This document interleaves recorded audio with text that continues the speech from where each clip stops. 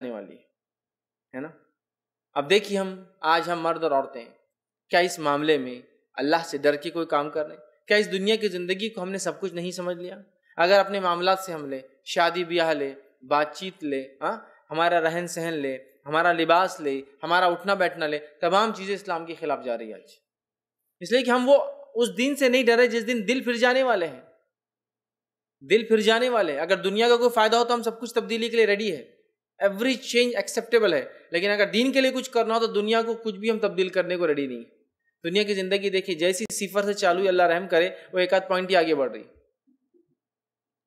مطلب دینی زندگی جو ہے، دنیا کے اندر جو گزارے بس صفر سے چالو کیے، کچھ پوائنٹ بڑھ سک رہے ہیں۔ لیکن دنیا کے اندر دیکھیے کتنے رفتار سے ہم بھاگ رہے ہیں، کتنے آگے بھاگ رہے ہیں اور سب کچھ کرنا چاہتے ہیں دنیا کے اندر۔ تو ہمیں کچھ نہ کچھ سوچنا ہوگا ہر عمل سے پہلے یاد رکھنا ہوگا کہ اس کا آخرت پہ کیا اثر ہونے والا ہے۔ اگر وہ آخرت کے اعتبار سے اچھا عمل ہے تو ہمیں کرنا ہے، اور اگر آخرت کے اعتبار سے اس میں کوئی نقصان ہے تو ہمیں اس عمل کو میرے بھائیوں اور بہنوں بالکل مکمل طور سے ترک کرنا ہے۔ چونکہ اللہ نے نیک و کار کا طریقہ بتا دیا، دنیا میں رہ کے اس کے لوازمات کو کرتے ہوئے وہ اللہ کے ذکر سے، نماز سے، روزے سے، اپنے فرائض سے غافل نہیں ہوتے ہیں۔ آگے آئیے۔